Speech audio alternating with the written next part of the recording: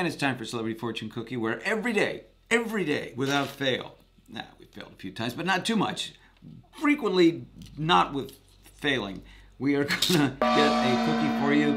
And Robert De Niro is going to be the voice. It's chosen at random. Okay, they're on the wheel, but it's random.